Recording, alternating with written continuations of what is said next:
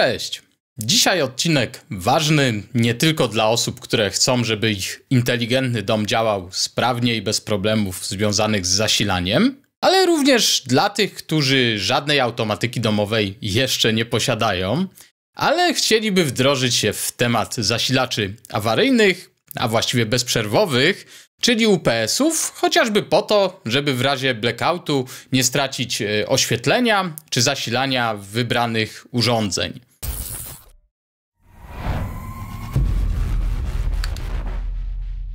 Tym odcinku skupię się głównie na zasilaczach buforowych, a to za sprawą sponsora odcinka, czyli firmy Elmark Automatyka, która jest autoryzowanym dystrybutorem jednego z wiodących producentów zasilaczy marki, myślę, dobrze Wam znanej, czyli Minwell.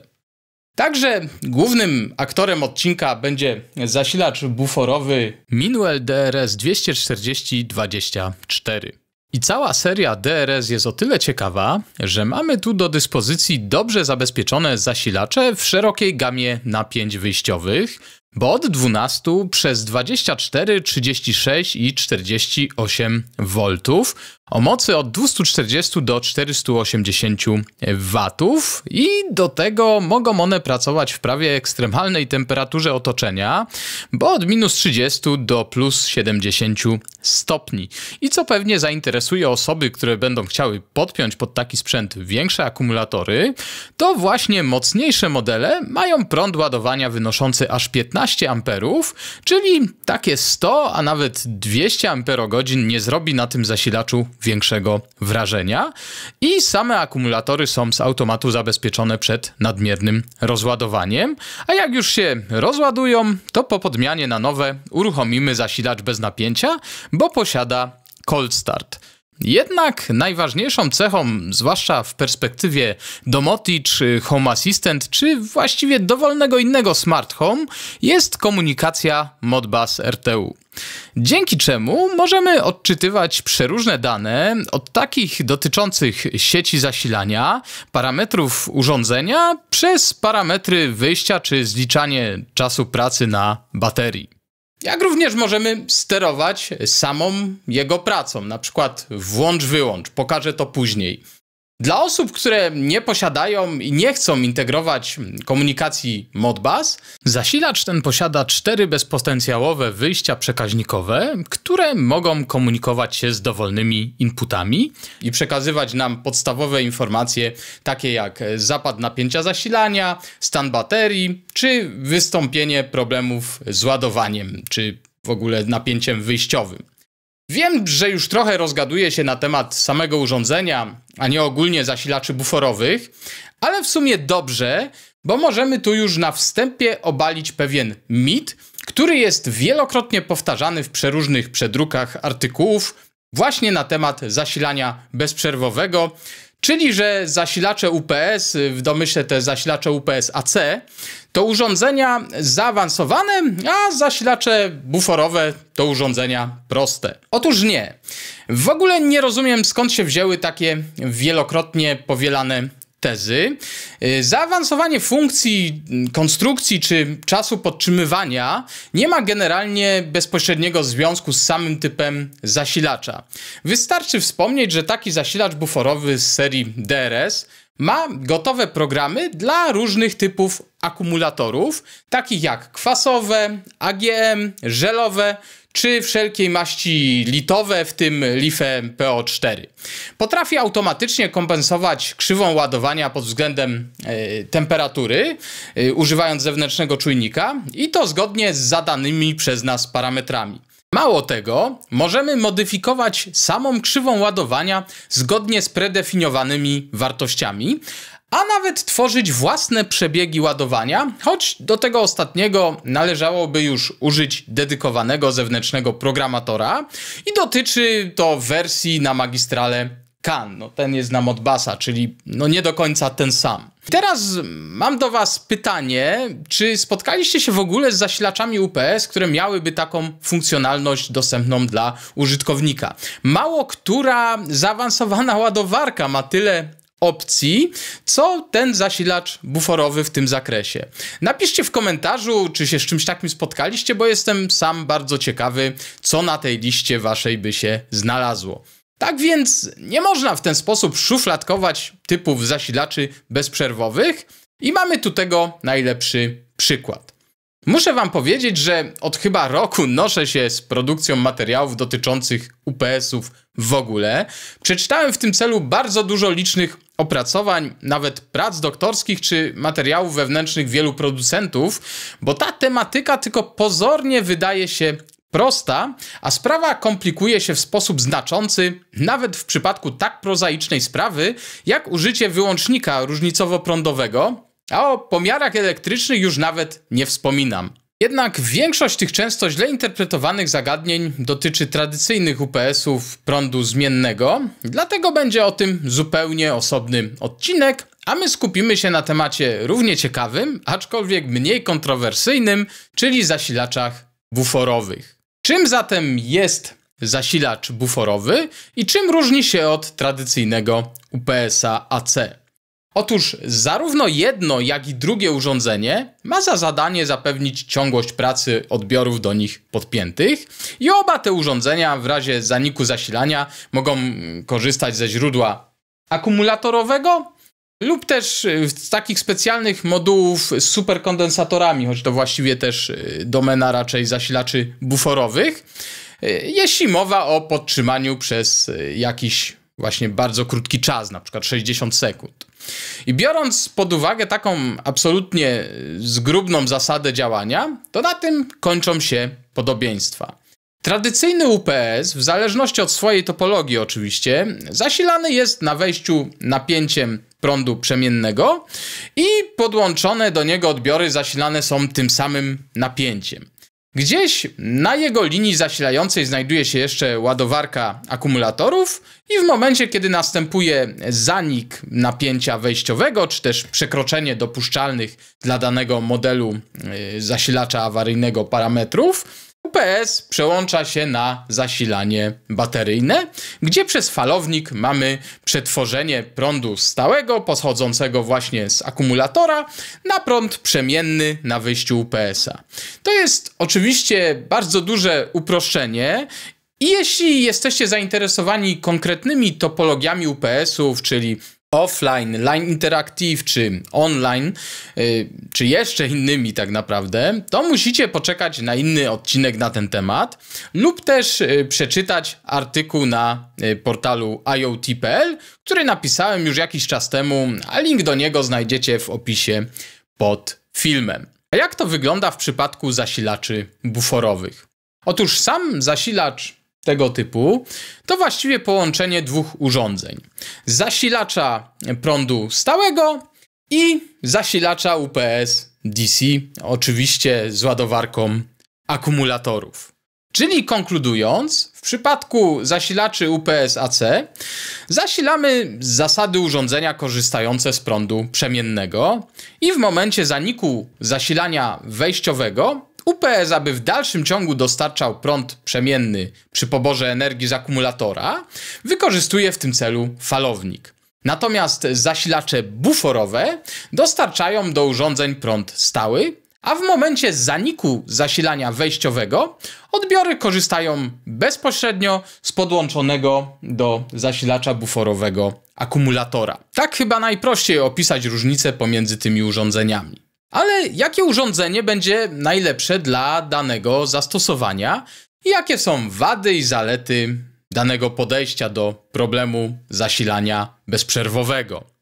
Otóż, moim zdaniem, nie da się jednoznacznie wskazać uniwersalnego faworyta, bo tu zawsze pojawi się magiczne sformułowanie to zależy. Otóż, jeśli chcemy zasilać urządzenia, które wymagają podłączenia do prądu przemiennego, jak przykładowo lodówka czy na przykład piec y, gazowy, to tu za bardzo nie ma co dyskutować, bo co prawda, jeśli ktoś się uprze, no to jest w stanie zasilić lodówkę. Oczywiście mam tu na myśli taką standardową kuchenną lodówkę ze sprężarką, a nie samochodową. Z zasilacza buforowego, jeśli odpowiednio dobierze jego moc, a zanim zastosuje odpowiednią przetwornicę. Ale to już wyższy poziom abstrakcji, bo właściwie robimy wtedy z zasilacza buforowego standardowy zasilacz UPS AC. Natomiast jeśli mamy do zasilania urządzenia korzystające wyłącznie z prądu stałego lub też wyposażone w oddzielne zasilacze impulsowe, które możemy pominąć, to warto nad tematem już się pochylić i rozpatrzeć wszelkie za i przeciw. Przykładowo chcemy zasilić bezprzerwowo taki system inteligentnego domu, przy okazji może switch PoE, router, wideodomofon i instalację alarmową, czy rejestrator kamer IP. I teraz każdy system czy wymienione urządzenie ma swój osobny zasilacz impulsowy. Myślę, że to taka sytuacja, z którą wielu z Was się spotka i natraficie na podobny dylemat. Otóż musicie wtedy zdecydować, jakie są wasze priorytety. No bo z jednej strony użycie standardowego UPS-a, no jeśli oczywiście jest na to przestrzeń i przewidziane przewodowanie, to rozwiązanie najprostsze i najbardziej uniwersalne. Bo właściwie zmieniacie tylko linię zasilającą poszczególne urządzenia czy też zasilacze na tą na wyjściu UPS-a i to właściwie wszystko. Z drugiej strony, to na pewno nie jest rozwiązanie optymalne energetycznie, bo musicie się liczyć ze stosunkowo dużymi stratami.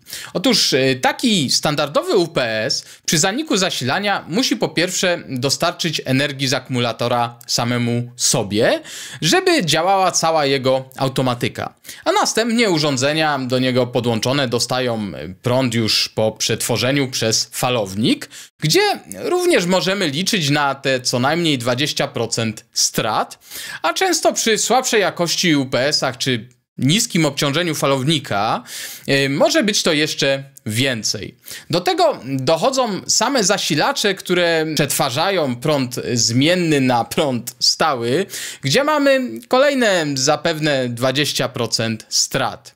Czyli śmiało możemy założyć, że licząc bezpośrednio od akumulatora do finalnego odbiornika, sumaryczne straty mogą sięgać około 50%. A jak dla kontrastu sytuacja wygląda w przypadku zasilacza buforowego? Otóż dużo lepiej, bo zakładając, że urządzenia mogą pracować docelowo na tym samym napięciu co akumulatory, czyli przykładowo 24 V, czy tam plus minus, bo to będzie się wahać do 28 V DC, to właściwie strat po drodze żadnych nie mamy. No, oprócz samej wartości, że tak się wyrażę, jałowej, bo bez obciążenia i jak widzicie po takim zimnym starcie, zasilacz na potrzeby własne pobiera jedynie w okolicach 130 mA, co przy napięciu niecałych 25 V daje trochę ponad 3 W. Ale jest to i tak co najmniej o połowę mniej niż w przypadku standardowych zasilaczy UPS-AC, z którymi miałem do tej pory do czynienia. I przekłada się to dokładnie na to, że jesteśmy w stanie dwukrotnie wydłużyć działanie takich samych urządzeń przy takiej samej pojemności akumulatora. W przypadku braku zasilania różnica jest moim zdaniem niebagatelna i może się okazać, że taka praca 4 godzin zamiast 2 na zasilaniu akumulatorowym będzie miała kluczowe znaczenie.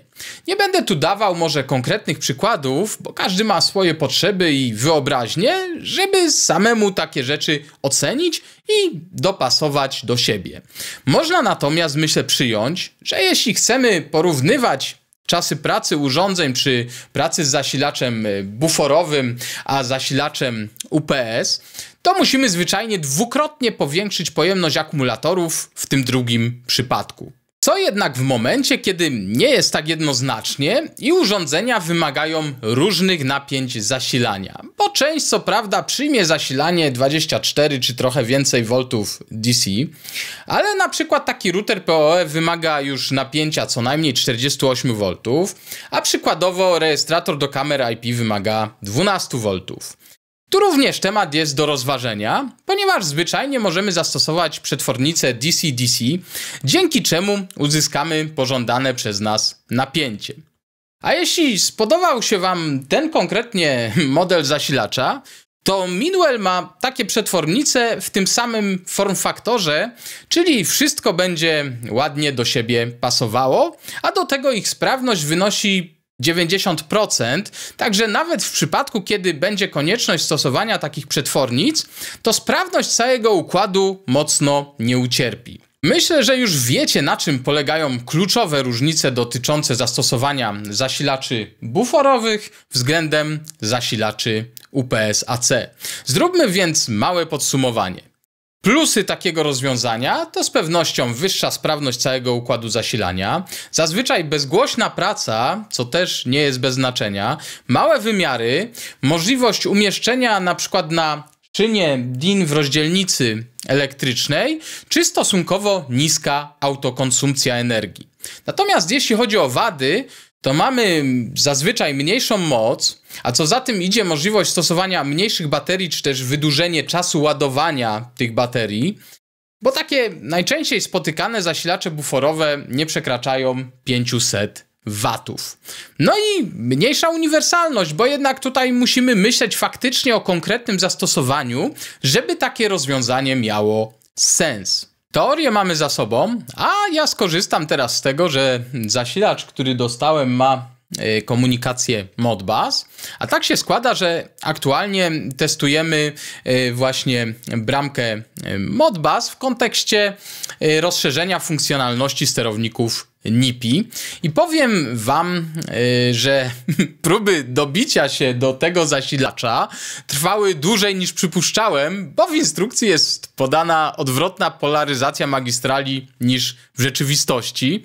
Ale jeśli już o tym wiemy, to z samym połączeniem i przesyłaniem informacji problemów nie ma. Ale niestety, jeśli chodzi o komunikację Modbus, to jest jeszcze jedna niedogodność, można tak to nazwać. Zasilacze Minwell z serii DRS mają na stałe ustawiony baud rate na poziomie 115 200, czyli nie zapniemy go na jednej magistrali, chociażby z takim licznikiem energii dosyć popularnym, to jest akurat SDM 120 E, także miejcie to na uwadze, jeśli będziecie się chcieli zaopatrzyć w ten konkretnie model zasilacza. Choć być może takie urządzenie w niektórych przypadkach nam taki licznik zwyczajnie zastąpi, bo wartość napięcia czy natężenia e, również z niego czytamy i to zarówno tego wejściowego, jak i wyjściowego. No i tego dotyczącego akumulatora.